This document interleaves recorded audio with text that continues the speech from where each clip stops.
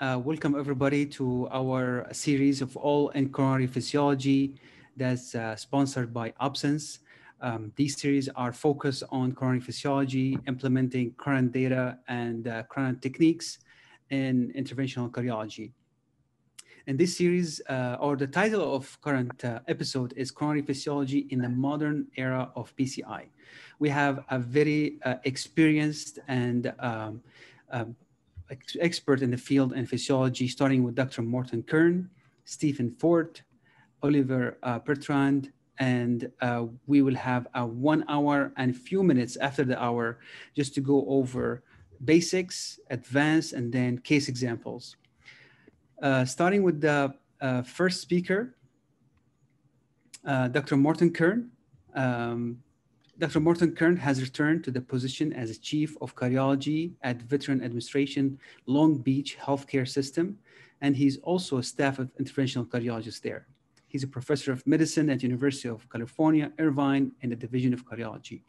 In addition to being the clinical editor of the Cath Lab Digest, he is the author of the Kern's uh, Cardiac Cath Handbook, seventh edition, and uh, its companion, the Interventional Cardiac Cath Handbook, fourth edition think everybody uh, who touched a cat in the lab knows Dr. Kern and his book and his experience and how much he uh, kind of gave us principles and advanced uh, techniques in the lab.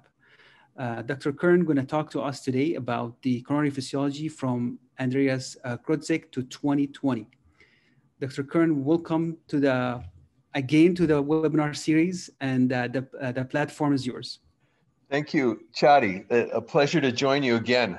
Um, I, this is a, a, really great opportunity to review something that hardly anyone recalls, but it has very important uh, pertinence to what we're doing today. So I'm going to show you the uh, a little bit of the history of coronary physiology that I had uh, learned from Dr. Gruentzig and others. Now, let me just share my screen. Uh, here we go. And this, uh, just in case anybody had seen this before, this is a condensed version of a lecture keynote speech I had given a couple of years ago to the Society of Cardiac Angiography and Intervention uh, on the anniversary, the 30th anniversary of the society. And this was uh, a little history. So let me just dive right in. In 15 minutes, I'm going to talk to you about the coronary physiology. Here are my disclosures. And uh, just to start things off, Dr. Gruentzig was a rather unique individual. He was a radiologist, uh, German, moved to Switzerland, became interested in peripheral vascular disease, then coronary disease.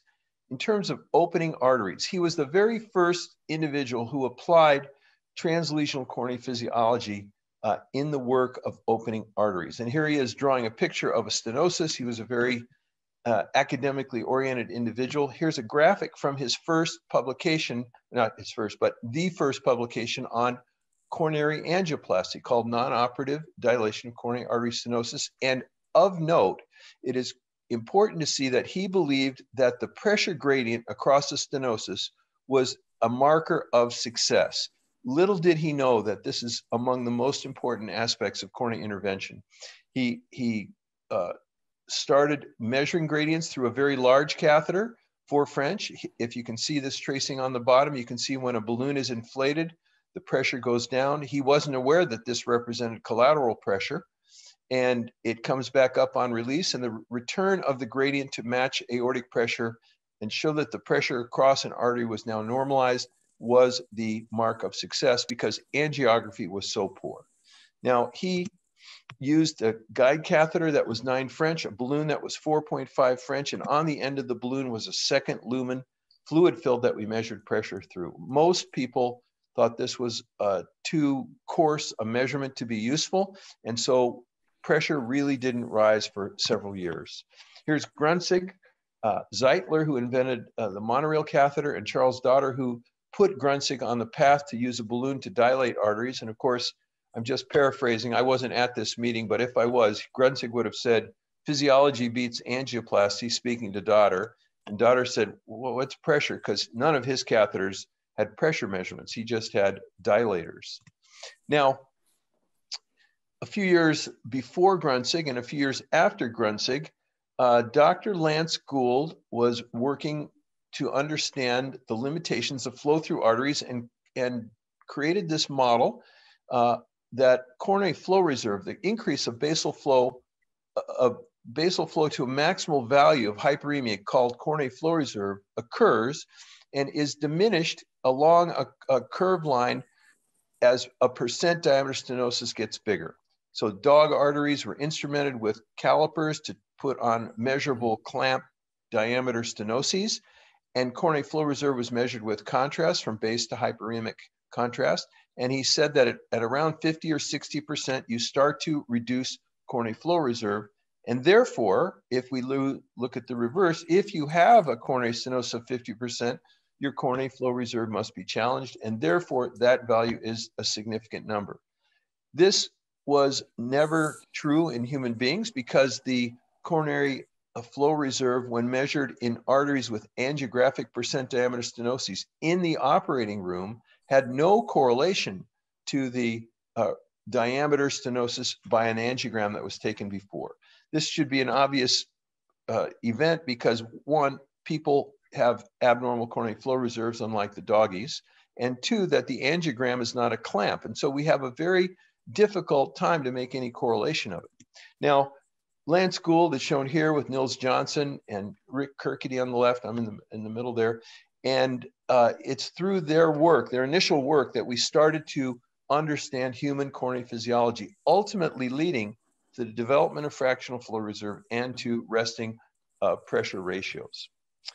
I was fortunate that years ago in 1991, I uh, received a, a, Doppler guide wire to be able to measure for the first time in, in people uh, coronary phasic Doppler signals. On the, on the uh, center here, you can see my lab, a picture of it. We had an angioscope, an IVUS machine, a Doppler machine, our crude angiograms, which are very challenging to make sense out of uh, coronary stenosis, very imprecise. On the right was a Doppler catheter, uh, sorry, a Judkins catheter we equipped with a Doppler uh, transducer, a tracking catheter to measure pressure that was one French in diameter, and this 18 uh, inch Doppler guide wire. And with these tools, we started to uncover uh, aspects of coronary physiology that heretofore had only been observed in dogs. And so in people, we started to look at human coronary flow velocity, giving adenosine here, watching the average peak velocity increase over 30 seconds, watching it decline back to baseline, and calculate a flow velocity reserve. We had beautiful signals at that time, uh, spectral Doppler, there was a small systolic, large diastolic component, which increased with hyperemia. This was really, I think, a breakthrough that ultimately led to the pressure flow uh, information we use today. In 1993, we put together all the people in the world that were writing about Doppler coronary physiology and translesional flow into a, into a, a uh, symposium, and it was quite exhilarating. Now, in the early days of angioplasty, it was thought that a good result from a balloon angioplasty, here's before balloon angioplasty, here's after balloon angioplasty, and the result was pretty good, pretty respectable. And then after a stent went in, the angiogram improved somewhat, uh, but it wasn't clear that for a while, why should an angio, uh, a balloon angioplasty have such a high restenosis rate? Well, we started to measure pressure and flow, mostly flow at this time. Subsequently pressure. But we found out that if you measure flow reserve, it didn't increase from baseline very much after a balloon at all. Uh, and then after you put a stent in, it, it increased more. If you look over here on the upper right, the circles were pre, the squares were post, and the triangles were post stent. But many patients did not increase their flow reserve. That's that area below two. So there was something else going on. 80% of the time we had success, better with stenting than certainly balloon. We did the IVUS and learned that this was due to material left inside the artery that the vessel couldn't detect. But without measuring pressure and flow, we had really no way to understand what we were truly doing. We did identify the fact that microvascular disease was still present in patients who have stents. And so flow reserve was uh, identified as problematic in some. One day in my cath lab, we had this Doppler wire down a balloon angioplasty that we're performing, and, and the signals went from positive after balloon dilatation to zero when we inflated the balloon. And then we discovered if we waited another 30 seconds, we could see a reversed flow signal coming back toward the tip of the catheter, meaning flow was coming in another direction. This was rep- repeatable and reliable, and this was our first observation that coronary collateral flow could be detected both by flow now and subsequently by pressure measurements during coronary balloon occlusion. In 1993, uh, Nico Pijls and Bernard De Bruyne started to publish their work using a high fidelity pressure guide wire. And Radi Company in 1994 released their first version of this. And then we really took off in making measurements to understand lesions that were flow limiting, lesions that created gradients, and lesions that needed our treatment, and lesions that didn't. Uh, Bernard and colleagues identified uh, advances in the calculations of flow reserve made from pressure. So they had a pressure derived system of calculating the fraction of normal flow reserve, and they called it FFR. And this is done by, by with the help of Gould and Kirkeeide. Johnson did a nice review on the subject and validated the fact that the ratio of flows could be calculated from the ratio of pressures. This was the foundational uh, studies that brought us there. Uh, I remember in 1994, we convened the first uh, European meeting of coronary physiology to show the value of Doppler flow and the value of FFR. Here were some of the participants. You can recognize the young Patrick Serruys, uh, John Piek from Amsterdam, Nico Pijls, and Schaper, an expert in collaterals. And we showed at this meeting uh, that we had a normal flow across a 60% lesion in a right coronary artery. We also measured flow reserve at that time, and it was very normal, greater than 2.6. And we said to Patrick Serruys, now that we showed you that this 60% lesion has normal flow and normal pressure, what would you like to do? And of course, Patrick said, stented, of course. It looked bad. So I realized at that time that uh, we had a very uphill battle to convince uh, interventionalists to give up the angiogram and accept physiology. That never changed even to this day. It's still a challenge. Subsequently, the European uh, Society uh, convened a meeting of coronary physiology in 1996 at the Heart House. It had all these different people there. I think I'm on that side, but I'm not sure. I'm one of those guys over there. And Nico and I had a debate which is better, pressure or flow? And uh, Nico put together a very uh, exciting presentation, but it was highly populated with mathematical formulas. And I knew that Nico had the right answer because you could assess a lesion easily, clearly, and with high detection of ischemia. Uh, and I knew that Doppler didn't work all the time because of coronary microvascular disease. And I, but I said to Nico, nobody's going to buy this work unless we get rid of all that mathematics. People just can't get it. Those formulas are killing me. And Nico said, What are you talking about? I said, Nico, there's too much math. If we just simplify, give adenosine, use a pressure wire, record the tracing, you can calculate the number. The math can come later. And sure enough, we could really sell this. And I think it worked in that way. Well, the field moved on. Everybody's familiar with these critical landmark studies, the foundational studies of DEFER, FAME, FAME 1 and 2. And with data, usage and acceptance of a concept became part of our daily practice. Now, I had a wonderful experience uh, participating both during some of the studies, but often as a reviewer or as a, uh, a safety monitor for this.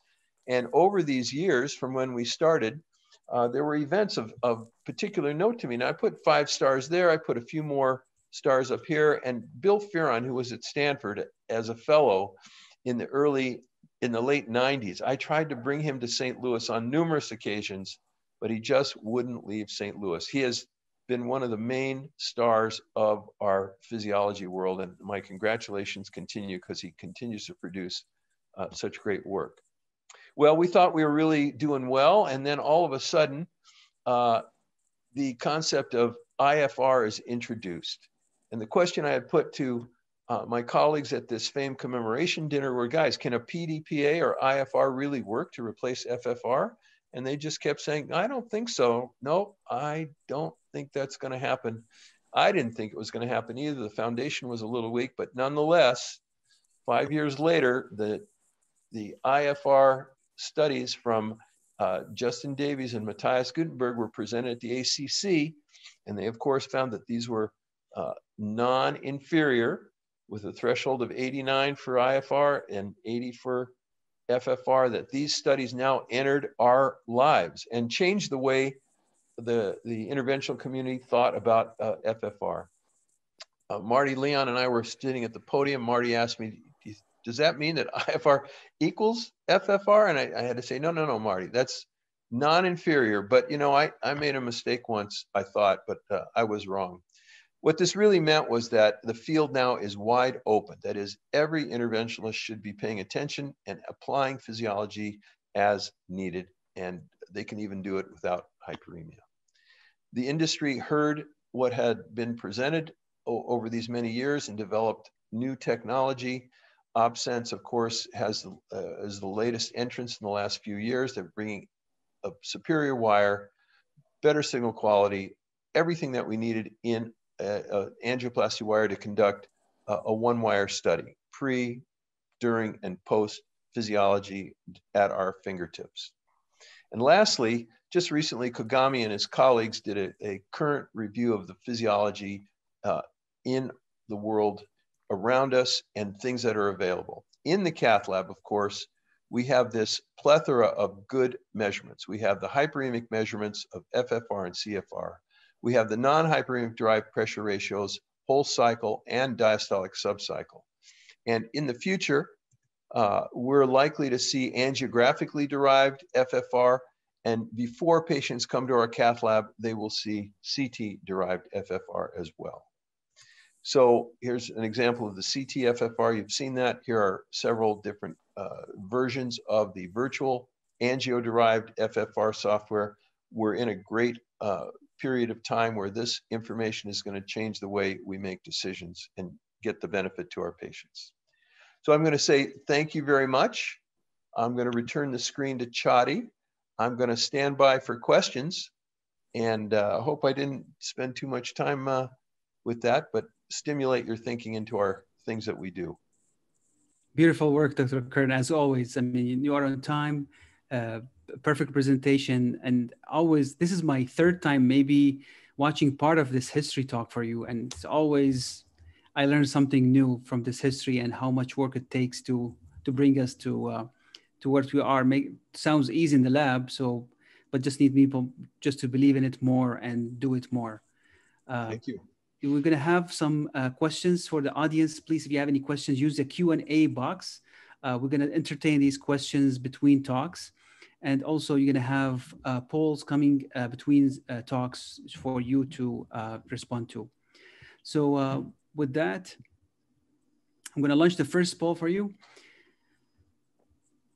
While we're introducing the second speaker is uh, sorry for that, Dr. Uh, Stephen Fort. Uh, we're going to speak. Up, he's going to speak about coronary physiology, the best practices. So now we saw Dr. Kern talking about the history, how we are what is the pathway that took to reach where we are now and how we're going to do implement best practice with physiology so dr. Fort is a graduate from the university of leeds in uk in 1984 he completed his training at university of wales hospital royal london hospital and royal infirmary of edinburgh. He was a british heart foundation research fellow at the university college of wales uh, studying myocardial contractility and endo um, endothelial function, receiving his MD in 1994. He is currently staff cardiologist specializing in PCI intervention and cardiac and coronary imaging and physiology at uh, Kelowna General Hospital.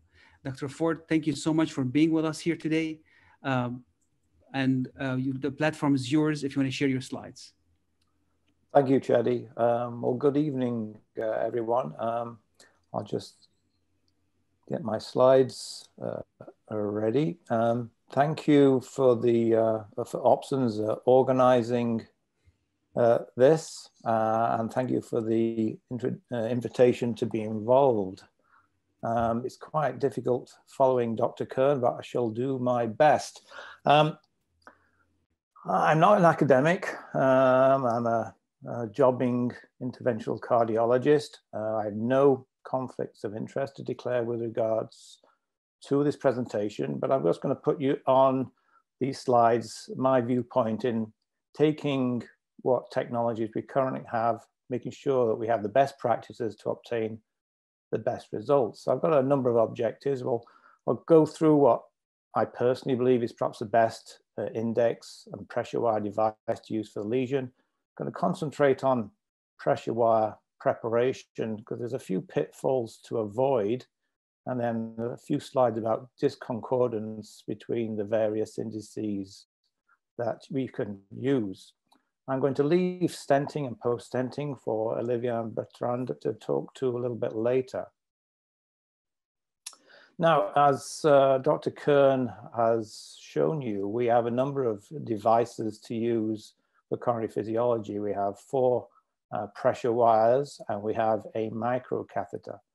Now the microcatheter has two distinct advantages. Firstly, you can use your own uh, guide wire and also you can then perform pullback with the microcatheter without fear of losing your distal wire position. Now, in terms of the pressure wires, they fall into two distinct groups as uh, Dr. Kern illustrated. We have the piezoelectric uh, hollow uh, wires of eccentric design and then the fiber optic design. Now, in terms of performance, the fiber optic catheters wires have three distinct advantages over the piezoelectric wires. With a larger, more state-of-the-art core nitinol wire rather than the stainless steel core wire, they offer greater flexibility, less kinking, much better performance and torqueability. Reconnectivity is not impossible with the piezoelectric wires, but you do need to remove the blood and the solute. Uh, it's much easier with a fiber optic wire. And with the uh, pressure, uh, the fiber optic wire, it's much, you get much less drift, uh, a higher, um, more stable uh, sensor on the wire. As Dr. Kern's already illustrated, we, you know, we have five different devices and we have a plethora of different pressure ratios. Which one do we use? Well, we've been using the hyperemic FFR for many years with a cutoff of less than 0.80. And then they have these new, the, the non-hyperemic pressure ratios, which are divided into two. There's the whole cycle and there's the subcycle. Now, in terms of the whole cycle, we all know about uh, uh, PDPA. Uh, it's available in all systems. It's not proprietary. The cutoff is less than 0.91. There's another whole cycle measurement, RFR. I'll come back to that in a second. Then we have the diastolic, the sub-cycle uh, indices, DFR, IFR, and DPR. And all these share the same cutoff of less than 0.89. If we go back for a moment to the RFR, technically it's a whole cycle measurement, but as I'll illustrate here, while the entire cardiac cycle is scanned, effectively it only tells you the lowest subcycle pressure gradient, which obviously it will be a diastolic measurement, and hence our uh, PFR shares, same, uh, shares the same cutoff as the diastolic indices of less than 0.89.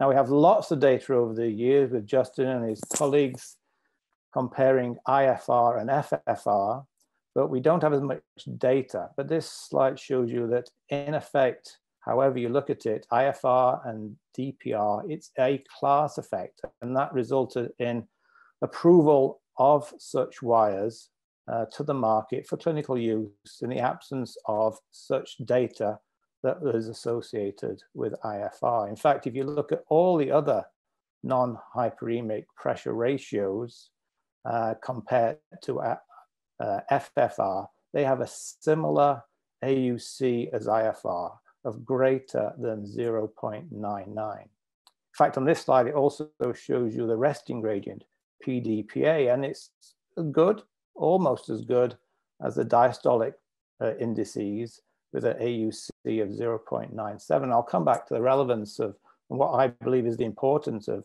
uh, PDPA later.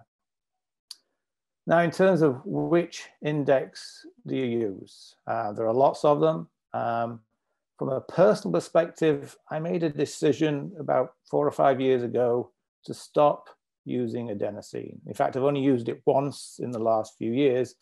And the only reason I used it then was that the lab underwent maintenance and the technicians forgot to connect the ECG input to the FFR system uh, because IFR at that time, but no longer, but at that time needed an ECG input. So I stopped using adenosine in practice. And why did I do so? So I'm going to paraphrase a um, former professor of biochemistry for MIT. And it is possible to know too much. So a man with one watch knows what time it is. A man with two watches is never sure. So that's why I stopped using adenosine and switched to the hyperemic index. And it has a number of distinct advantages over FFR and adenosine use. You don't use adenosine, so it's obviously quick and easy. You can assess ostial lesions using the resting non-hyperemic index. You don't have to worry about whether the drug was given intracoronary. You don't have to worry about whether the catheter is producing pressure damping or not. You can easily perform pullback. You don't need an intravenous infusion. In fact, with the new uh, SyncVision of, of Philips, you can co-register the IFR with the angiographic images. And we now have excellent data, as shown by Dr. Kern, that IFR is non-inferior to FFR. And because of the uh, bench studies, uh, now DPR is considered to be the same as IFR. So we have a variety of wires and systems now, and we can measure non-hyperemic indexes with a variety of systems. Now, there are a number of disadvantages uh, using a non-hyperemic index. Uh, setup is important in all systems. It's probably even more important when you're looking at just diastolic gradients. And of course, if you're using adenosine, you're measuring FFR, there's going to be disconcordance in a small number of cases. Now, uh, FFR, this slide's been shown to you by Dr. Kern. It's a whole cycle mean gradient.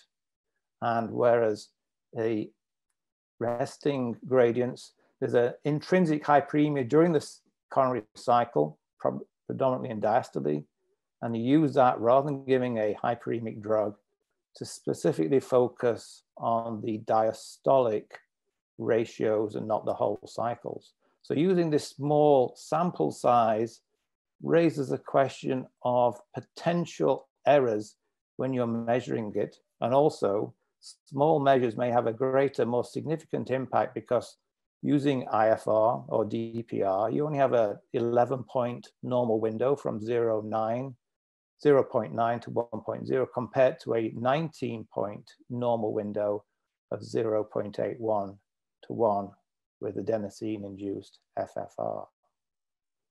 So I think it's important with all pressure wire systems to use it properly to set it up. But with the diastolic gradient, probably even more important to make sure before you normalize or equalize your wire that you flush the contrast out of the catheter to allow these high fidelity devices uh, to work properly. If you cross a lesion, then it's always good to flush before measurement, particularly if you've given contrast on advancing the wire. And if you have pull, you have to perform uh, pullback to exclude drift, particularly with the piezoelectric wires, as drift is quite common. Unfortunately, if you get drift, uh, then you have to start again.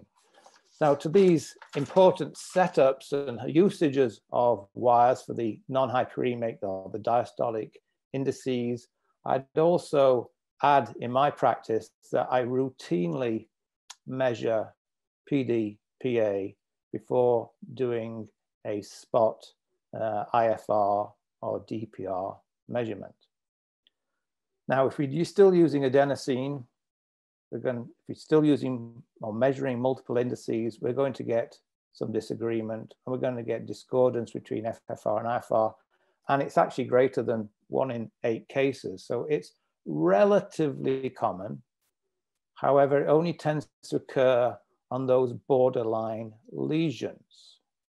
And I think it's important to know that in borderline lesions, the, the amount of flow that's improved post PCI is also borderline.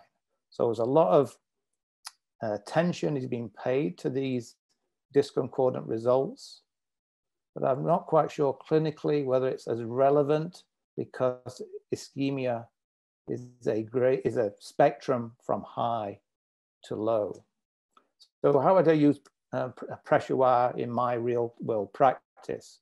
I mean, we do have too many indices. The more you use, the more likely you get disagreement. But it's important to note we're not in a binary world. We're not uh, entering patients in randomized controlled trials. We don't have to randomize between one of two limbs as we do in randomized controlled trials. I think it's important to note, particularly in areas around the borderline cutoff, uh, particularly in areas that you may get discordant results if you use multiple indices. I think the clinical and the angiographic features are still uh, important in patients. And I give, raise one example is that the LAD and the non-LAD vessels may be actually different. Currently, all indices have the same cutoff, irrespective of the coronary vessel. But I think clinical angiographic features are still important, particularly in those borderline areas, particularly since uh, borderline areas, borderline lesions, the benefits of post-PCI aren't that significantly different. And in my clinical practice, if I need a second option, then I tend to use PDPA rather than introducing adenosine and measuring it as a hybrid approach. But the bottom line is we are spoilt uh, we've come a long way in terms of physiology. We have great equipment. The science is complex. I think if we use it in the right way, we're sensible, the setup's good, we're focused, and introducing a few, I think, areas of adjustment in terms of clinical angiographic features, we can use these pressure wires to great advantage. So we have excellent pressure wire devices, with great performance, particularly from the fiber optic wire for three particular indices, uh, trackability, reconnectivity, and drift. I think we use these and other pressure wire devices, we'll get great results. And with that, I'll hand it back to you, Chadi, to see if there's any questions. Thank you so much, Dr. Fort. Uh, great talk. Um, we have a couple of questions, but I also have a question to you as well. And if when you have, you talked about discordance, and uh, so first of all, I'll start with a question. You have a patient have a positive stress test. He has unstable angina at our stable angina. You stress him in the lab and in the office, lateral wall. You see a circ lesion, moderate, 60%. Do you routinely do physiology on these territory as well? Or you believe the stress test and you go ahead and do PCI? Uh, good question, Chadi. I have to say that I don't try and overcomplicate cases. If I'm confident that clinically the patient has angina and there is a number of uh, non-invasive tests which I trust and they're clearly positive, despite the angiogram showing a borderline lesion, I would not perf perform further interrogation. I would believe what's been performed before. I wouldn't like to argue uh, in an invasive way a patient who has good symptoms of angina and a strongly positive stress test in the appropriate ter territory, I, I, wouldn't try and argue against those features by introducing higher technologies. So I tend to use them in a focused way. I tend to use them in patients where I'm not sure whether they have clinical angina or not. Non-invasive tests may be borderline. The angiogram is borderline, but I don't tend to use them in cases where I think I've already got good evidence and I don't need to reinvent the wheel. I'd, I'd be interested to hear what Olivier and Morton here think about that particular area. So just a, a word, you have just described, the, the individual you just described falls into the class three, uh, don't use it recommendation for physiology. You don't need to use it there. You shouldn't probably use it there because you introduce air and then you have two watches and now now you're in trouble because you don't know what time it is so I, excellent talk i just want to remind people that if you're flushing either with saline or contrast you need to wait until the hyperemic effect of those two flushes is gone before you accept the PDPA or the IFR or the DPR because you must return to a basal flow state. If you have hyperemia, you're going to have a lower number than you would without hyperemia. So good. That's just my single cautionary note on that. Now, another question also to Dr. Kern and the panel. If you have a borderline DPR or IFR, and really borderline, you repeated the measurement again and again, it's 0.9, and you believe the patient is symptomatic, do you have like a next, what's the next step would be? Well, I'll, I'll let uh, Dr. Fort answer that one, then I'll, I'll follow. Okay. um, I think I would take a step back. Um, you've told me that clinically this patient has angina and intracoronary physiology has been borderline. I then I take it back to the angiographic features. If it's a type A lesion, I don't think there's a great loss in, in stenting that lesion. If it's a complex calcified lesion, might need debulking, rotablating. It's a distal left main, it's a bifurcation lesion. I think it's a gray area. And the more complex the lesion, the less likely I am to intervene in a patient that's absolutely fixed on the cusp, despite whatever physiology is performed. So, just to not make too fine a point of it, we all drive a car. We all come to a stoplight. It's a red light, it's a green light, it's a yellow light. I know what to do with red. I know what to do with green. When I get to a yellow light, I know what to do sometimes. And that depends on the traffic and it depends on the patient. So a borderline value is a yellow light. You have to revert to being a clinician. In my 85 year old little frail lady with a borderline value, I think I might take it easy. But in my 50 year old hard driving executive, I might step on the gas. So this is being uh, the tool gives us the option of moving one way or the other. It doesn't mandate a response.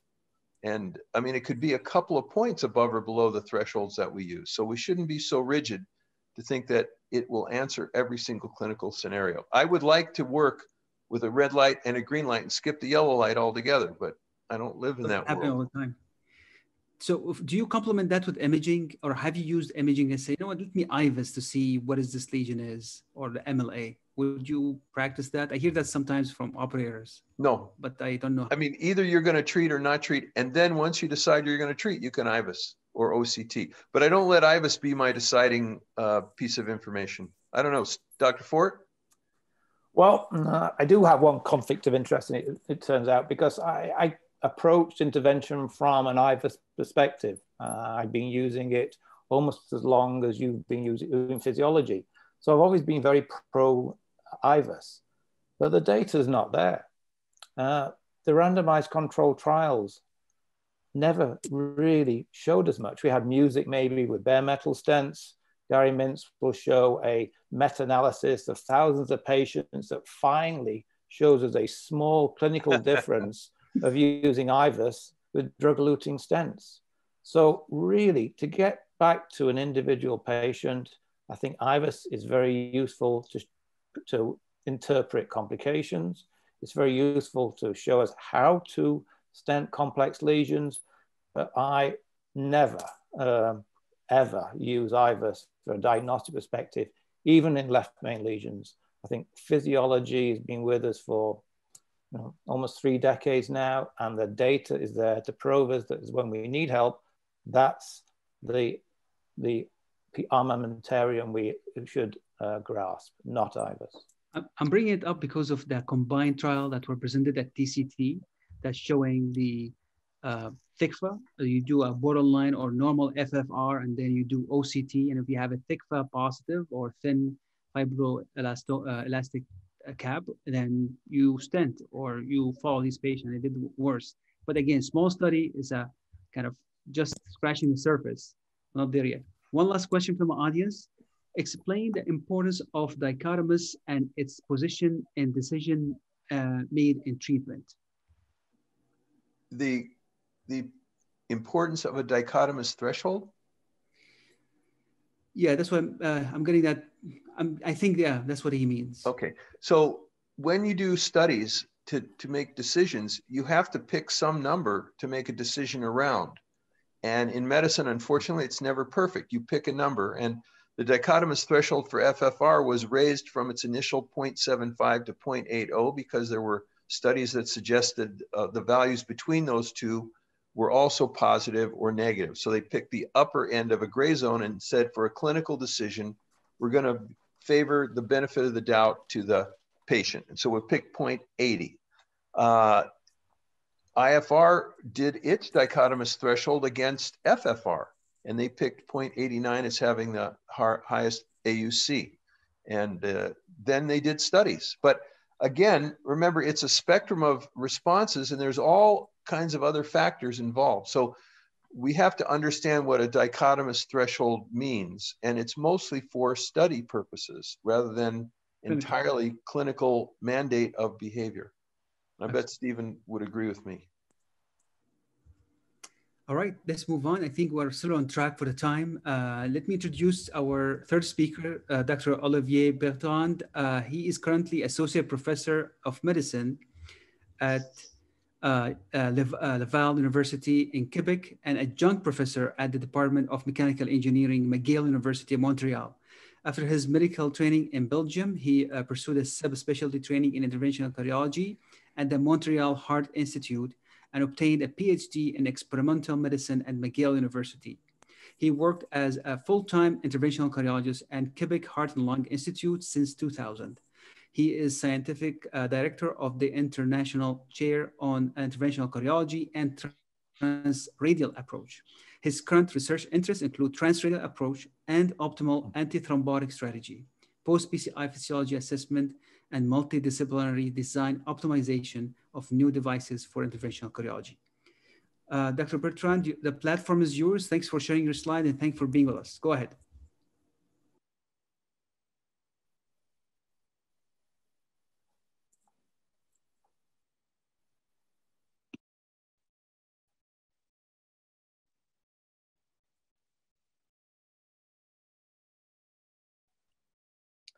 about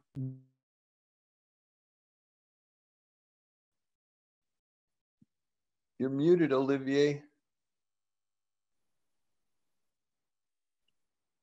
Okay, no, no, you should be able to hear me. Yes. Are you? Yes. yes. Okay, so uh, sorry, sorry about that. I had switched off my, my mic, so I didn't want to to uh, make some noise before. So it's my my pleasure from Quebec City to talk about a new field of investigation for me, which is uh, we do know now that physiology uh, prior intervention works what about post-PCI? So these are a few key, uh, key points that I will entertain and maybe raise your interest uh, since there are many things that are ongoing and I, there is no uh, definite answer. So why post-PCI physiology? Obviously, when we talk about uh, post-PCI and as uh, everybody has mentioned, everybody's looking for cutoff. Uh, we have to remember this is a spectrum but we have to make clinical decision as it was said already by Morton many times. Uh, we have some data about FFR and uh, uh, resting gradient as well. And of course, the most important is that is there a relationship between uh, post PCI physiology and clinical outcomes? And I'm gonna show you a few examples from my practice.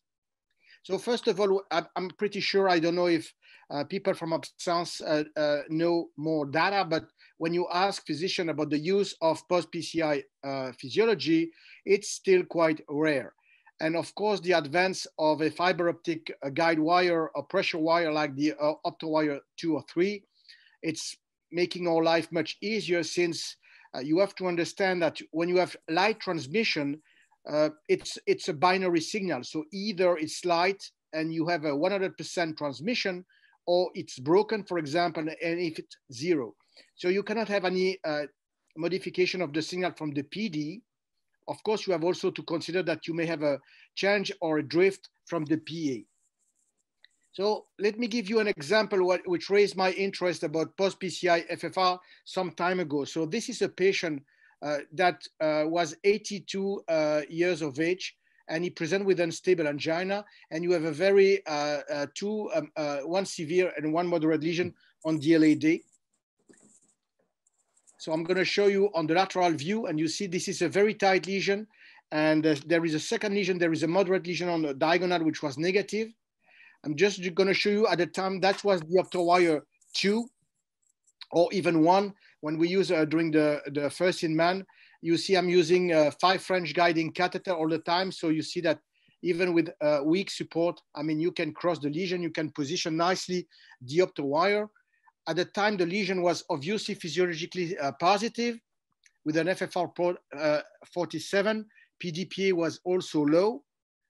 But the main thing is that I want to show you so the increase of value following dilatation. Of course, one of the main advantage of the wire is that you can use it as a regular wire. You see here, um, it's a calcified lesion. As I said, it's an old patient. So we uh, basically pre-dilate using the 2-0 balloon. And then for the sake of the discussion, I repeat the uh, uh, physiology. And you can see that when you start to, to uh, dilate, as was shown by Gruentzig many years ago, I mean, you get some improvement, but it's not obviously perfect. So next step, I went with 3-0 balloon. I repeat the physiology, and it's much better across. I'm crossing, let's say, the threshold of 80 with an 82. But of course, nowadays we put a stent. So I'm going to show you when, when, when you advance the stent. So you, you see this is obviously a classical DES. We deploy the stent. And I would just ask you to pay attention. I would say that Basically, my routine is to deploy all my stand at 22 atmosphere for one minute. That's my routine. So you see, this is the, re the result on the lateral view. And for those of you with gray hair, you know that there is a step up. It's basically, I would say, an angiographic perfect result. But when you measure, when you measure physiology, you got an FFR of 80, 84 and a PDPA close to the threshold value of 92. So why you don't get normal value, you, you, you, may, you may ask. And one thing that you have to keep in mind, this is the LAD and the myocardial mass is massive. So why should we pay attention to post-PCI FFR when the stent result angiographically looks perfect? I will just pay attention. I don't have much uh, slides uh, to uh, uh bother you too much, but pay attention to this slide from ABSORB 2 when we're comparing the BVS when a DES. And you see that even at six months or one year, we still have about 25% of patients which remain with angina. And we have also, uh, I'm gonna go quick, but if you look at the ex exercise objective signs of ischemia, you have about 20% in both groups of patients with positive exercise test at distance from the intervention. And when you look at these slides, from uh, defined PCI, you see that overall in all our trials, when we look at the result after one year, for one patient with one or two lesion, even within randomized trials, we still have patients with a significant number of, of them uh, with residual angina. So maybe we are not that good when we use the angiogra angiography to assess our results. So we did a meta-analysis some years ago with one of my, my students, and we, we look over the last 25 years, and you see that the range of FFR after PCI has not improved or increased significantly over the years. The red dots are after balloon only.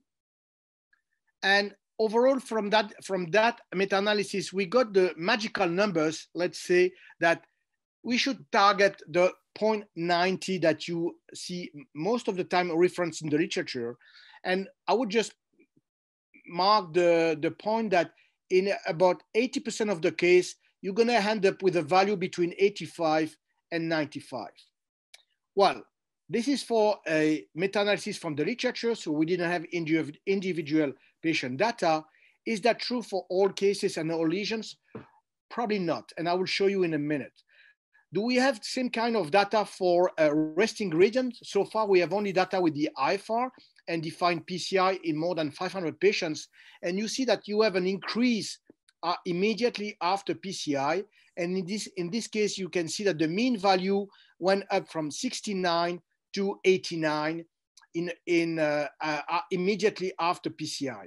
What is interesting also is that you see that you have an increase going from 0.7 or even decrease, or you, have a, you may have a huge uh, increase in the resting gradient. What is important as a clinician is that, of course, you can perhaps think that you can use the physiology, the uh, FFR or the uh, resting gradient to guide your um, procedures, you may also use imaging like in this, uh, uh, at the bottom you see an experience from um, Arkansas, and you see that you get this value from 63 before, uh, immediately after you are still below the 80, and when you, got, you use OCT, IVUS imaging combined with physiology, you can have a significant improvement in the final FFR.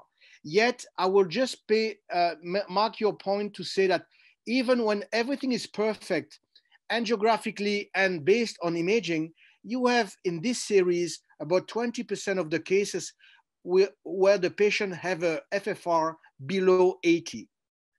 And it's practically exactly the same when you look at uh, in the uh, above uh, uh graph from defined PCI, you can see that you have about 20% of patients with an IFR, which will remain between uh, below 90 at the end of the procedures. Why is this? Well, I mean, the, the common reason is probably that, uh, that, as you know, atherosclerosis is a diffuse process. So if it was just a focal lesion and you would get rid of the lesion by a stent, of course, you could anticipate that you would get a perfect physiology afterwards. But as we all know, I mean, that's not the case, and especially if you think also about the LAD, I mean, more or less you have a, some, some disease, but you have diffuse disease, so you're gonna end up with a spectrum, and unfortunately, with in some cases, you, you will get below 80 after perfect angiographic result and stenting implantation. So of course, as a matter of cutoff, uh, we are left with observational data, and this is a, um, a study, a very large study that was performed in Asia, published uh, last year. And just to make a quick uh, suggestions in terms of cutoff value, you could see that using the LAD, the cutoff value with the best sensitivity and, and specificity was quite low, 0.82. And with that cutoff value, you could see that in terms of target vessel failure, you have a significant difference. And of course, if you, if you look at the non-LAD lesion, the cutoff is much closer to the so-called 0.90, which I showed you before. But still, you have a significant difference after follow-up in terms of target vessel failure. So that raised the possibility that we should use different cutoff uh, between vessels after PCI. Is it the same after IFR? This is the follow-up that was presented at TCT from defined PCI. Again, I remind you more than 500 patients, and you see that there seems to be a difference in terms of outcome using a cutoff value there determined at 95.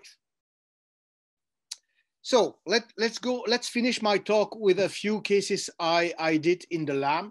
So this is a 70 year old uh, male patient who had a previous CAT in a different city Montreal about a year ago, we all, all only know that there was a moderate uh, RCA lesion and the IFR was one. There was no FFR done. The patient was discharged.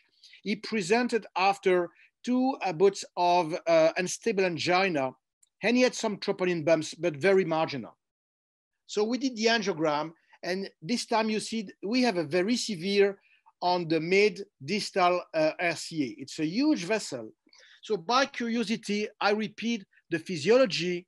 And as you see, it was very stunning to see that my PDPA and my DPR were still negative. So you will, you will, I'm sure, admit that this is a very severe lesion. In fact, I have been asked many times why I did physiology. It's because I, I need to study post and I do pre, of course, in any, any case I can. And you see to my surprise, when I did the FFR, so when I did induce full hyperemia, we usually use 300 micrograms of adenosine on the left and 150 on the right. And I have a very uh, severe gradient appearing with the FFR of 68. So this is a wonderful example. This is, I have to admit, one of the most beautiful I've ever seen. But this is significant uh, example. Sometimes you have to push and, and question even the resting gradient. So I did the FFR. Then we obviously stent with the 3.5, which was expanded with a non-compliant 4.0 at 24 atmosphere for one minute. And after the whole three indices resting and FFR were 1.0. Sometimes I would just uh, make your attention that you can get, when you go very distal in the right, you can go slightly above 1.0. So that was example number one. The second example, it's not always that easy. So I had a patient who had a BMS uh, in uh, about eight years in the in the right uh, in the right vessel, and I show you that uh, he presented with unstable angina on, exer on exertion, and he had diffuse disease going from the mid to the distal part. The stent, the BMS was here. So I repeat, I'm gonna show you the angiogram before. And from the, from the aerial view. And then of course we did the physio pre. So in this case, again, you see the PDPA was 0.92, DPR was 87, and FFR was clearly uh, positive too. So the DPR was concordant with the FFR. And so we did discuss with the patient because as you see here, obviously the decision is that if we embark on dilatation, we're gonna need to fix the whole mid distal segment. So that's what we did with the intent to finish and just expand the stent uh, here. Unfortunately, things became much more complicated by using physiology. I'm, I'm, I'm just skipping many slides, but let's say that I was going for a 15 minutes PCI, and this ended up with a much longer uh, PCI and much more complicated using physiology. So basically, after the, the, the, the stent, which was deployed in the distal, the FFR was still below 80 and the DPR was borderline, 92. So I had decided at the time to further expand the, the BMS using drug-eluting balloon and non-compliant balloon. Unfortunately, when I'm done here, as you see, I still have my FFR, which is below 80. The DPR is basically borderline, but I have a, I have a dissection. So I, I have no choice, but I finish and I put another stent proximally as well. And again, in this case, I repeat physiology, and then I got what I would say a perfect physiology and angiographic result by having a PDPA of 98, DPR 96, and FFR of 92. So as you see, I mean, that was an extremely complex procedures. I started by putting a, a 2.5 38 millimeter length uh, distally. Then I had to go back using a non-compliant uh, small diameter balloon, 1.5, 2, 3 drug-eluting balloon, another stent. It took me about two hours, but at the end of the day, you end up with a perfect uh, physiology result as well as um, uh, angiographic result. Of course, now we have to show that the trade-off to get optimization using physiology endpoint is worth the benefit. And this is my last example because we don't know yet much about cutoff value. So this was a, a, young patient, 55 years of age. He was a marathon runner. He presented with a positive stress test, no angina, and he was referred by his friend cardiologist for an angiogram. He had a disease on DLAD, so a colleague of mine put three stents on DLAD and two stents on the diagonal. Unfortunately, he showed up for his follow-up exercise test to the same friend cardiologist, and his exercise test was still positive. Because he was willing to go back to marath marathon running, the guy said, I have no choice, I send you back for a, cat, a new cat. And I got the patient two months later. So I was interested in this case. So this was, and you're going to see, this was the, re- the final result after the stent implantation on the that on the um, on the LAD and the diagonal. It's a it's a dominant circ, but you see, I'm gonna go fast to finish in time. But you see that this is a perfect result. So when the patient presents, it's still perfect angiographically speaking. These are the two views I want to show you. But I was interested to see what about physiology when I have some time and it's still angiographically perfect. Because as you know, many things can happen between uh, during physiology. You can embolize, you can underexpand, many things. So in that case, I use this and I repeat the FFR on all the physiology. And I got a very nice 89 in the distal LAD. DPR, sorry, DPR was 0.91 and PDPA was also positive, uh, was 94.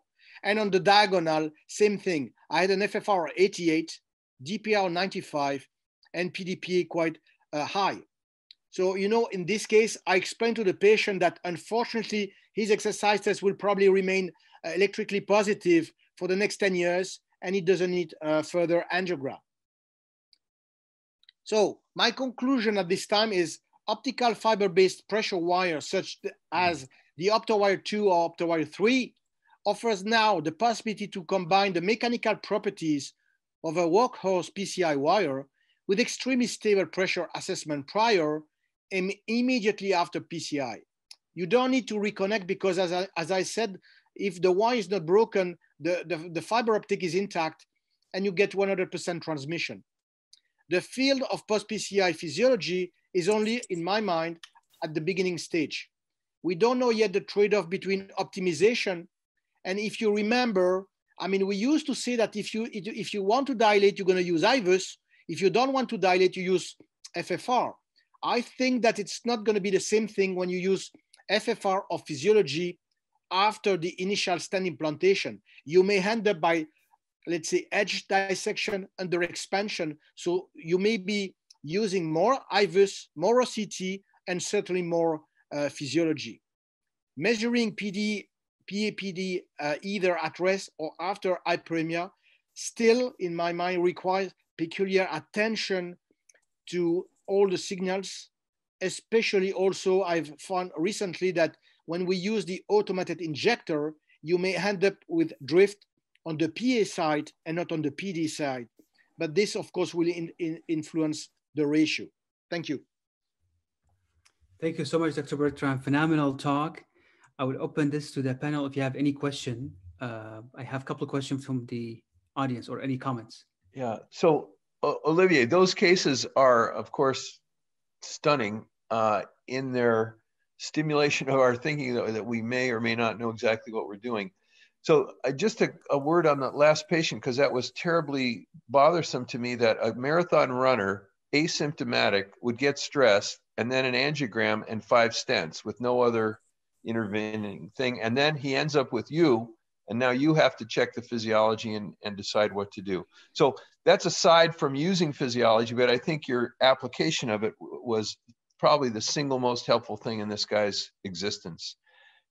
The, the, the, the probably the most difficult area for people, one is to employ the tools at all to use physiology. And second is to use them use the answer they get from the tool in the correct way. That is, it's not unusual for somebody to do an FFR or IFR and decide they don't like the result and they stent it anyway.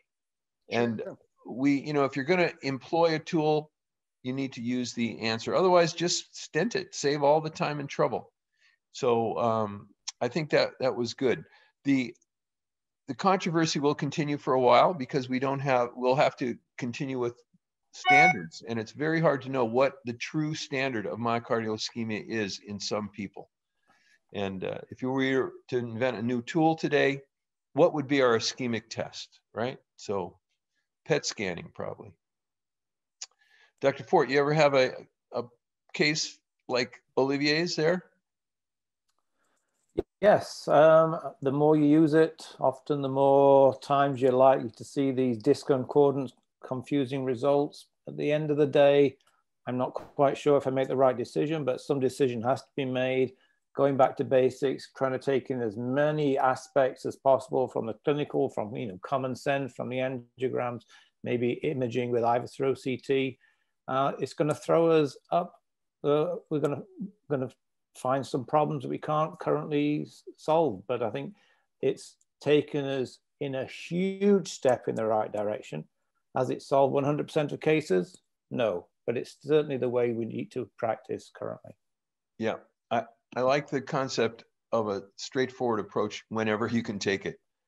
And you've simplified the practice well by accepting one watch. And I, I, I admire you for that.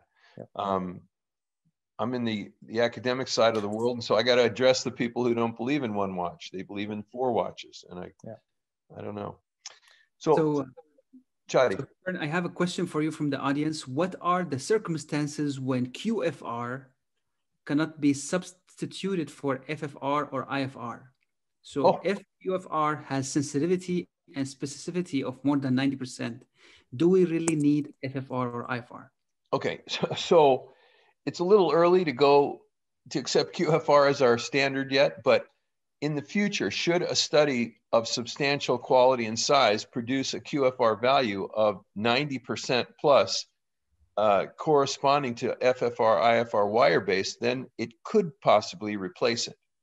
However, remember angiograms have their limitations, even 3D reconstructions. And so we're going to have an right now 80 to 85% concordance. And you have to again decide how close to a standard, which they used FFR, how close to that standard do you want to be? I think I think the angiographic based FFR stuff will come to us in five years, maybe sooner, maybe later, but I think it's it's got the same concept. It's surprising to me that we have not adopted more CT FFR in clinical practice. Uh, and I can imagine why. I mean, if I don't own the scanner, but I own a nuclear stress test, I know which one I'm going to use, even though it may be inferior. Um, that's very cynic- cynical with regard to the my colleagues. So I apologize to you if you're in that category, but facts are facts. So um, let me ask Olivier, are you a CTFFR guy?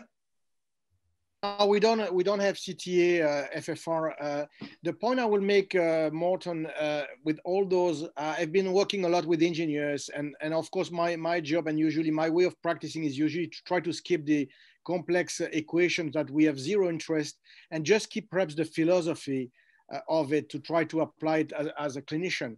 And as you know, any of those techniques, first of all, if it takes let's say five or ten minutes it's way too much for me already because I'm also academic, but i am busy. Uh, and then they have to make assumptions. So if, if the way you want is just to have a number and trust any numbers, especially if it goes in the direction you want, basically put a stent, you're gonna like it. But I think that if you pay five minutes attention to what they have to put into the equation to convince you, uh, measuring is like believing. I mean, that's when you just uh, make assumptions and the, the flow. Uh, there are many things that I think that will work as a research tool. Clinically speaking, I'm not so sure yet. Well, that's why we have multi-center trials and outcomes. Otherwise, we'd all get lost in the detail. Sounds great. Uh, yeah. Dr. Fort, do you want to get ready with your slides? Uh, sure, Chadi. Yeah. I think we're still on good time. Uh, we have maybe 10 minutes to go over slides. And they have one more question from our audience. We'll entertain it at the end. Okay, thanks, Jody. So this is the final um, presentation tonight. Um, uh, thank you for everyone for attending. I hope you found it beneficial. I'm just going to share with you uh, one case uh, of attempted single wire use of a pressure guide wire, the Opto three wire. Now I have to be very grateful for the first two slides. Um, these uh, images uh, were sent to me by Olivier Bertrand. They're currently from a publication in press from him and his colleagues in CCI, looking at development of fiber optic uh, pressure wires, in particular the Opto 3 wire and interesting, very interesting results based on bench testing against established guide wires. As we can see from this image, the evolution of the opto wire has resulted in a, a shorter tip, a smaller, more robust sensor, and a stiffer shaft that's currently available. So when you compare this in bench testing against what for many people is a workhorse wire such as the BMW wire. You can see that the BMW wire on this graph is in yellow and very, very close performance by the Opto 3 wire, which is in orange and obviously far superior to the Opto 2 wire and other pressure wires that are currently available on the market. Again, this goes back to the construction of a, a single larger nitinol core with the fiber optic sensor. Now, in terms of torquability, once again, the results are very similar to the previous one. The BMW wire again is in yellow with the triangles and the Opto 3 wire, the current version available from OpSens with the large nitinol core is in the orange line with the orange circles, very similar performance in terms of torquability, an essential component for interventionists. Now, this is the one hour drift, and perhaps towards the end, we, uh, the end we can ask Olivier about his, you know, what's, what drift is. Certainly, in terms of the piezoelectric wires, I've not had a one hour drift, I've had a two minute drift. And it's, it's a big issue. Uh, I certainly have far less confidence with the piezoelectric wires than I do with the fiber optic wires. So I'm going to illustrate a case. Uh, it's quite a complex case, maybe not as complex as some of the ones that Olivier showed. This is uh, a patient who uh, was turned down for multivessel bypass surgery. You can read the, the risk factors there. Is known to have coronary disease. Uh, there was clinical and angiographic deterioration over the last few years. Uh, he presents with symptoms, his non-invasive test, uh, the Persantine cardiolite, which was uh, four years ago, was only borderline, now comes up with significant anterior reversibility. And because of his comorbidities and is described as frail by our cardiac surgeons, he was referred back for multivessel PCI. So this is his uh, left ventricular function. Um, you can see a small area of hypokinesia inferiorly related to the uh, chronically occluded right and a much larger area of anterior uh, hypokinesia. This is right coronary, hasn't changed for many years. It's occluded in both the mid and the distal portion. And, oops, my apologies. And the left coronary I apologize for those of you that uh, don't like, uh, don't use swing angiography, but I'll just go through it slowly. So this is a uh, EBU uh, guide catheter. You can see there's a moderate ostial stenosis of the left main.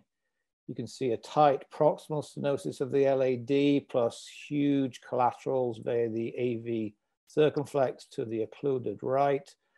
There's TIMI2 flow down the LAD and also quite diffuse disease of the mid and distal uh, LAD as well as a diagonal branch. So this is a radial approach. It's an EBU six French guide. Sorry, Olivier, I'm still stuck in the six French world. Um, and using an OpSens three wire to try and do everything with it. So advancing the OpSens wire after uh, equalization across the lesion, measuring the DPR, which you get within seconds, and it's positive at 0.85. So we're going to stent this lesion. I had to pre-dilate. Uh, I stented it with as a stent below that high pressure, not as high as you, Olivier, but my routine pressure. Angiographically, it's good. And fortunately, uh, physiology shows that now in this circumflex, I've got a good result. So going on to the next lesion, this is the LAD.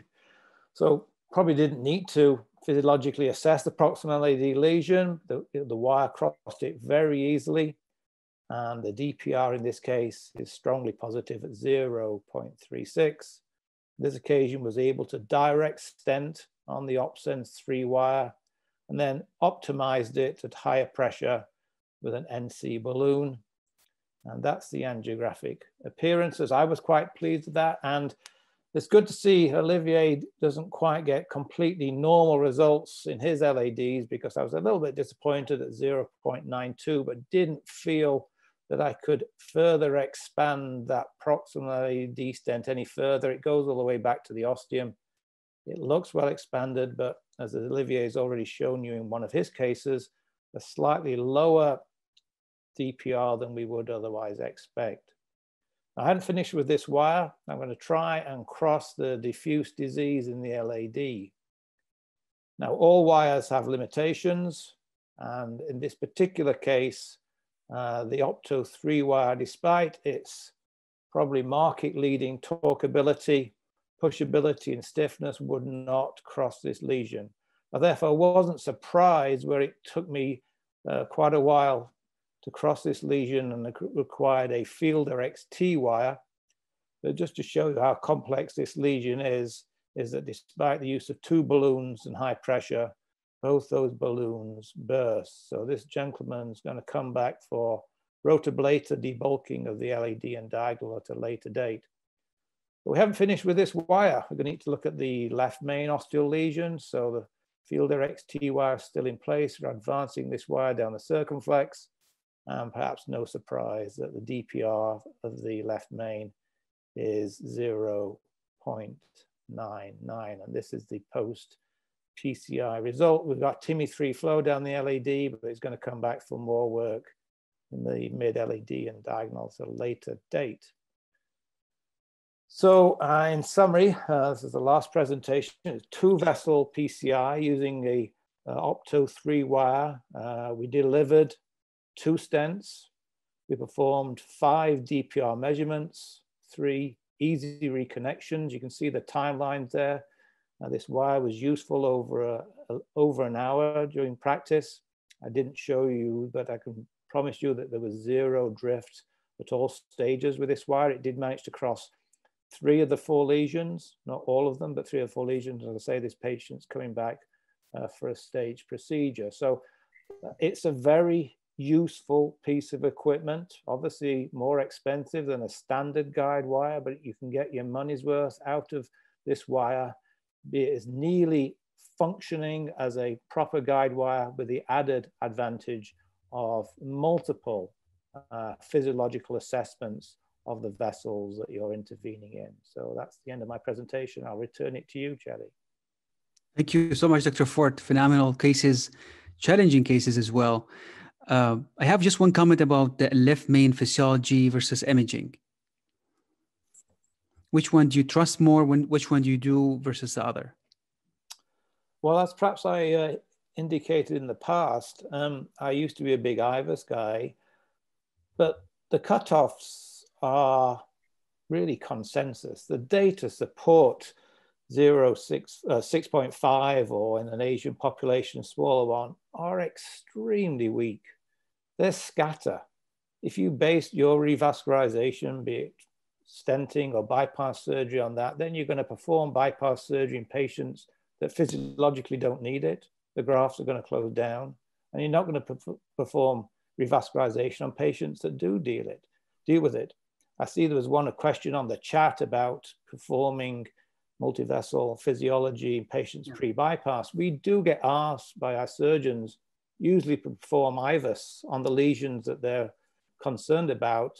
And the answer is we usually do physiology rather than IVUS. So it isn't perfect as we've illustrated on a number of occasions tonight. But I think the strength of data uh, is definitely in physiology. It's not as strong in the left main, perhaps uh, as it is in the more distal vessels. But really, I, uh, at the moment, I don't think there's anything else that can compete with it. And I'm quite happy to perform physiology on left main lesions uh, rather than IVUS. Nice. Um, one other comment is about why you picked left circumflex for the pressure to drop the up three wire and the circumflex instead of the LAD. I know the LAD has a Fielder XT there. Um, why did you opt it for left circumflex? Why did I intervene on the left circumflex and the LAD? No, why did you put your pressure wire to do physiology on the left main by oh, putting the pressure on the left circumflex? Um, yes. I, it's just the way it went. I don't think if to assess an ostial left main lesion, I don't think it's that important which Doesn't particular matter. vessel it went down. Okay, so I think you addressed that. Yeah, go ahead, Dr. Bertrand. Stephen, I would I would just uh, uh, asking you, uh, would you use are, are you using the ACIST or any automated injection system, or you use the Allway? The no, way? we we use the automatic inject system. Yes, I haven't found it technically a problem, as long as you're absolutely certain about the flush uh, and the weight.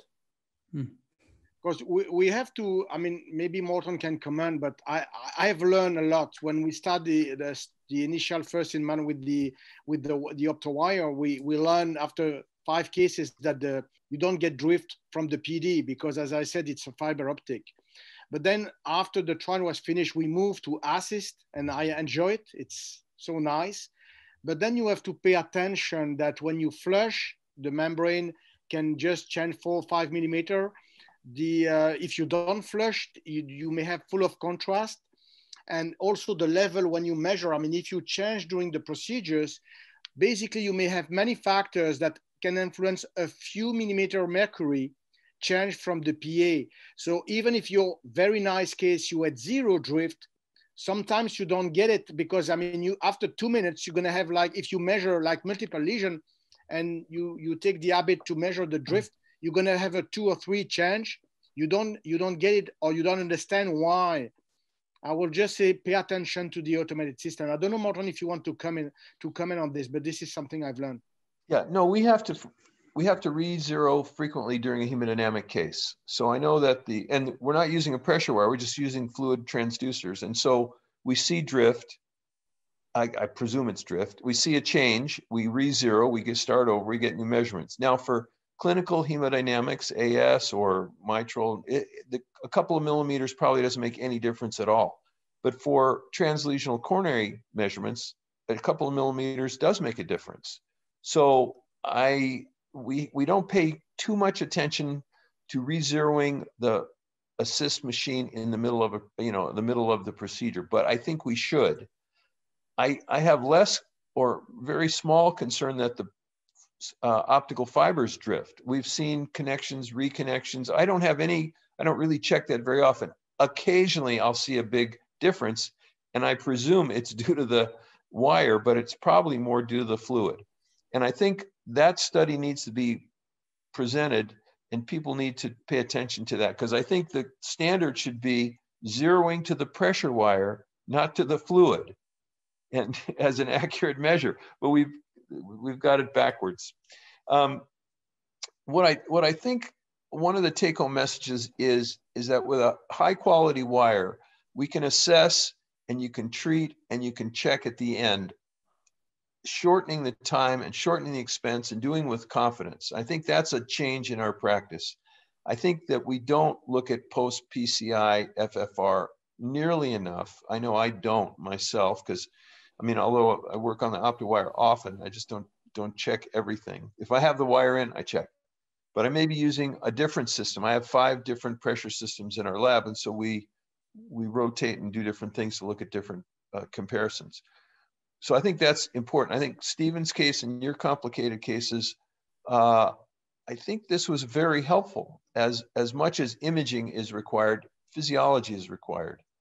And, uh, and uh, one case, one lesson for me from Dr. Fort's case is, uh, and Dr. Bertrand is this wire is even for complex lesion, it's like almost 99 small channel. This wire was able to cross, but also for the distal mid to distal LAD where you, the, the wire would start to buckle is the only wire was able to get through was a CTO wire, which is that tells you don't bother with another workhorse wire, just go and upgrade your wire to a to a CTO wire. I think you're right. This uh, can we do a rapid fire questions across yeah. the panel? We have a few minutes left. Uh, what is the right place um, to uh, do equalization? if it's okay, uh, is it okay if we have to place a wire across the lesion for equalization? Dr. Bertrand? Uh, well, I mean, I, I, would say that maybe Morton should should answer this kind of. Yeah. Uh, so, equal, I'll give you the short answer. Equalization should occur anywhere outside the coronary ostium. It can be in the guide or out of the guide, but it shouldn't be across a coronary lesion, and right. certainly not not anything where flow would be interfering. It has to match guide pressure. So, equalize it in the guide, or you can stick it out of the guide if you want. It doesn't make any difference. But once you put it in, it should have already been equalized. You can't change that. You have to. I think we answered this question, but I uh, will send it again. Tips and tricks when using FFR to assist left main lesions. Uh, FFR meaning hyperemia. So you you equalize, you seat, you advance the wire, and you unseat. And then you can use IV adenosine, or if you're very clever, you can inject a bolus, a substantial bolus of adenosine, and then unseat your guide. What uh, is your dose of adenosine? My dose is, is for the left 150 to 200. Uh, I don't think higher than that makes any difference. Uh, for the right, 50 to 100. I worry about heart block on that first injection, so I don't like to see too much heart block. Dr. Fort, any comment on that? Uh, you're asking someone who has only used adenosine once in four years. No, I think um, I think the the resting diastolic gradients are really good at RCA and left main ostial lesions. Um, obviously, you don't have to um, mess around with the guide. You don't have to worry you that where the intracoronary adenosine went. Um, you don't have to mess around with intravenous infusion with the extra expense. I think it's one of the strengths of the resting diastolic indices, uh, ostial lesion. So, yeah. I think, Dr. Kern, I asked you this in one of the conferences, uh, but do you think there is a difference between RCA physiology compared to the other coronaries? Yes, but it depends on what it is you want to know. Once you, so the difference is the phasic pattern of flow can be systolic predominant or equiphasic in the right coronary artery compared to diastolic predominant in the left. However, once you cross the PDA, it becomes left coronary physiology. So this might only affect the RFR in a minority, a very small minority of cases where your systolic flow is a little bit higher than diastolic flow. I, and I haven't quite identified who those patients may be, but I don't think it's enough for us to worry about changing anything we do to assess a lesion in a right coronary artery. Roberto, do you have a comment? Yeah, well, I would just make a, a very uh, practical and technical comment regarding equalization. Of course, I mean, the, the, the, principle to equalize is that you want the, the PA and the PD to be uh, identical before crossing the lesion you want to interrogate, right? Right. The, my point is to is is regarding post PCI and coming back to what Stephen shown that you can you can disconnect the opto wire, you can work with the balloon, the stent, and then you can just reconnect and remeasuring it. But if you check the PA and you re-zero your PA, of course, in that case, you have to re-equalize the opto wire. I mean, you don't need to re-equalize if you don't change anything, but if you re-zero your PA, of course, you that in that case, you have to uh, go back and re-equalize the, the whole system before crossing the, the stent and assess the final results. Other question, does GuideLiner change your physiology measurement? Yes or no? If you have a if you have material in the GuideLiner that creates a pressure Mm-hmm. I think in general, no. Uh, as long as your transmission of pressure is good, uh, excellent. Otherwise, if you have a, a, damping, it will change it. A question to Dr. Bertrand case. Uh, pullback, you showed us cases, and uh, after stenting, the second physiology was still significant, or meaning need to be fixed. Was this a focal or was this a diffuse uh, significant?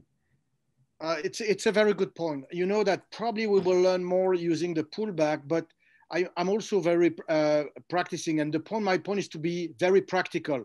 You know, when I'm very distal, and and I don't like the FFR or the DPR, I don't I don't spend time doing pullback. I only do pullback if I'm like basically I think it's perfect, and I don't understand.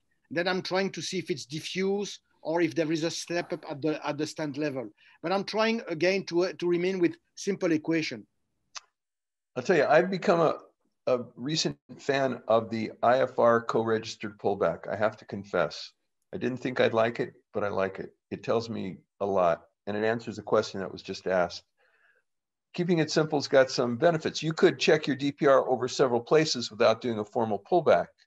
Uh, so the resting ratio can be checked and you get almost the equivalent of a pullback. You'll see where your number changes because flow is constant and you're, you're moving it back. But I like that co-registered pressure.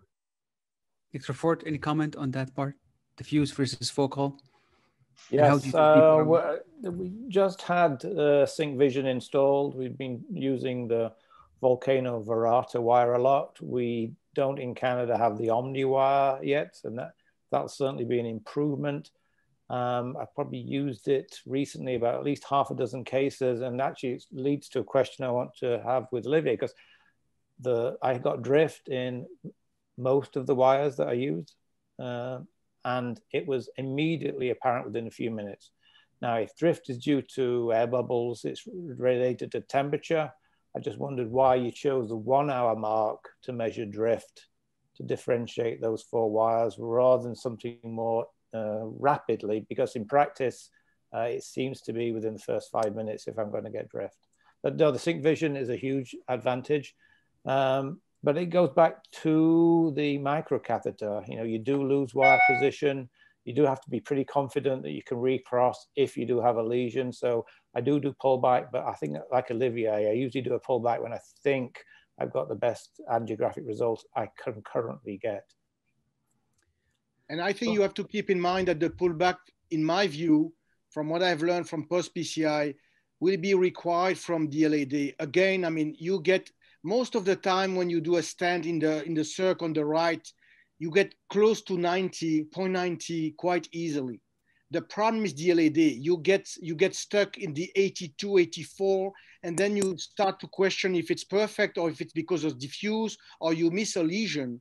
And in that case, pullback will be probably very useful in the LAD. DLAD is a different animal, and we all know that the question sometimes is should we go for a mammary artery or a stent?